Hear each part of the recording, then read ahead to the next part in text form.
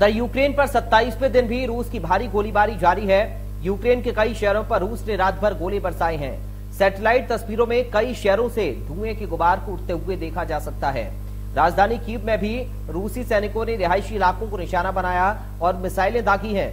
Kherson में बढ़ रही रूसी सेना को रोकने के लिए लोग सड़कों पर उतरे तो रूसी फौज ने गोलीबारी शुरू कर दी। मारियोपोल में बच्चों को ले जा रही बस पर पथराव की खबर है। आज भी रूसी सेना लगातार यूक्रेन की राजधानी कीव पर लगातार बमबारी कर रही है और अन्य कई शहरों में भी रूसी सेना के हमले से धमाके हो रहे हैं। उधर क्रेमलिन सम, समर्थक एक अखबार के मुताबिक बात करें तो रूस और यूक्रेन के बीच चल रहे इस युद्ध में अब तक लगभग दस हज़ार रूसी सैनिक मारे जा चुके हैं। आज भी रूस यूक्रेन के शहर मारियोपोल पर हर दस मिनट में बमबारी कर रहा है। और ये जानकारी एक यूक्रेनी अफसर ने दी है। यूएन का दावा है कि रूस के हमले की वजह से अब तक 33 लाख से ज़्यादा लोगों ने यूक्रेन छोड़ दिया है। जेलेंस्की की नाटो को चेतावनी है, हमें अलायंस में जगह देंगे या नहीं? यूक्रेन के राष्ट्रपति जेलेंस्की ने विश्व युद्ध को लेकर बड़ा बयान भी दिया और कहा कि मैं पुतिन से वार्ता को तैयार हूँ, लेकिन बातचीत सफल नहीं हुई तो विश्व युद्ध हो सकता है।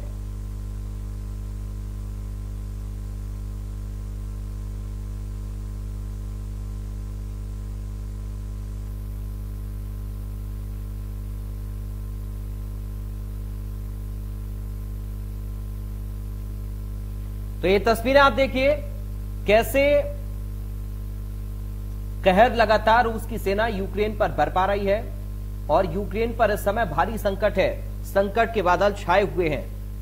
और उधर जो ब्लोडमिर जेलेंस्की हैं यूक्रेन की तरफ़ से वो ये कह रहे हैं कि हम बातचीत को तो तैयार हैं, यूक्रेन बातचीत करने को तैयार है, पुतिन से हम बातचीत को तैयार हैं, लेकिन अगर बातचीत सफल नहीं हुई तो वो तीसरे विश्व युद्ध की बात भी कर रहे हैं। जेलेंस्की का ये कहना है कि तीसरा विश्व युद्ध हो सकता है। मध्य प्रदेश, छत्तीसगढ़ की हर खबर। सीधे आपके मोबाइल फ़ोन पर। अभी सब्सक्राइब करें हमारा चैनल और पाएँ पल पल की खबर।